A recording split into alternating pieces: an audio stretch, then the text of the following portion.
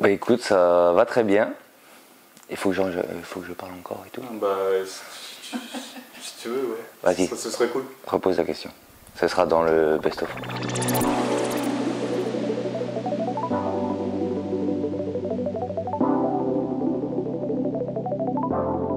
Bah assez, on va dire mitigé. On va dire que le, par rapport au match qu'on a fait, on va dire que le point euh, nous fait vraiment du bien parce qu'on a été à moins 6 euh, aux alentours de la 40e minute.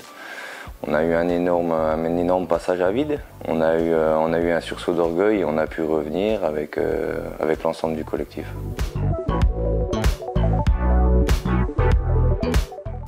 Bah, je pense que nous, on est meilleurs parce que le groupe a quand même maintenant de l'expérience, on va dire. On a, quasiment, on a quasiment une saison maintenant tous ensemble. Après, dans le championnat, rien n'est acté. Bah, ça sert à que tu me vois sur le terrain euh, tous les matchs parce que euh, sans c'est assez compliqué. Je sais pas, on dirait un peu Robocop, hein, mais, euh, mais sans je pourrais pas trop jouer.